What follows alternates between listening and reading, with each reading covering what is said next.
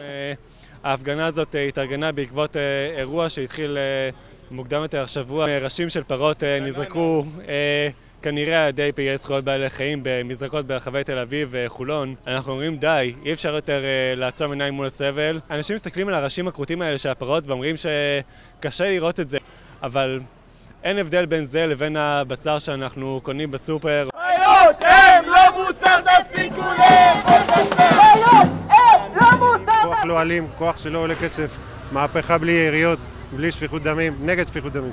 אמנם אנחנו גדלנו שזה טבעי ורגיל לבלות ולאכול חיות שהרגו אותם ולשים אותם על הצלחת ושזה זוועה רק כשרואים אותם על הרחוב, כמו שהיה בתל אביב השבוע. היום אין לנו תירוץ, בסופר מלא אוכל, אף אחד לא מת בשבילו.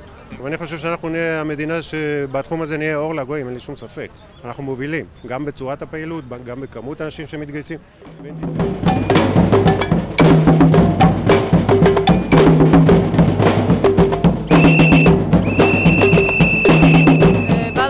בעל חיים ולא אה, מוצר או חפץ, כלי לשירותנו.